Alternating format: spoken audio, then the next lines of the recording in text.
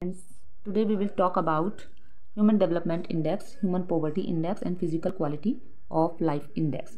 We will study the difference between human development index and physical quality of life index today. So let's know what is human development index first.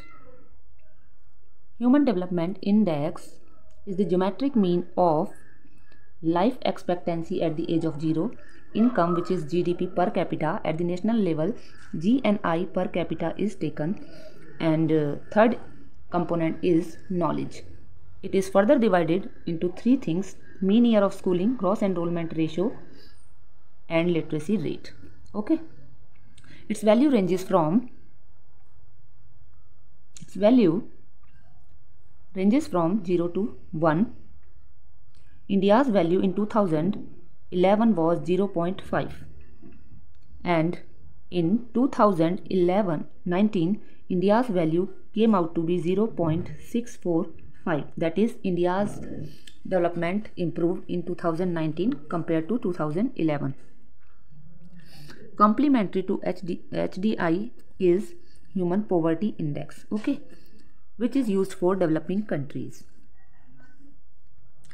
now coming next to physical quality of life index. Physical quality of life index also comprise of three components which is life expectancy at the age of 1, infant mortality rate and literacy rate. Its value ranges from 0 to 100 and India's value is 0 uh, sorry 65. So this, this was all about the human development index and physical quality of life index. Also one more thing I want to tell uh, the standard of living standard of living that depends on per capita GNP. Remember, it can be the MCQ in PG entrance exam also. Standard of living, remember, standard of living depends on per capita GNP. Okay.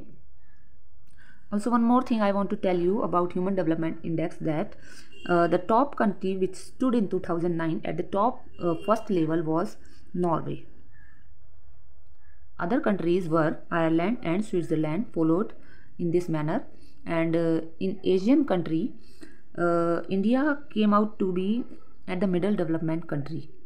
So India is was not at the high development, it was not at the low development, it came out to be at the medium development.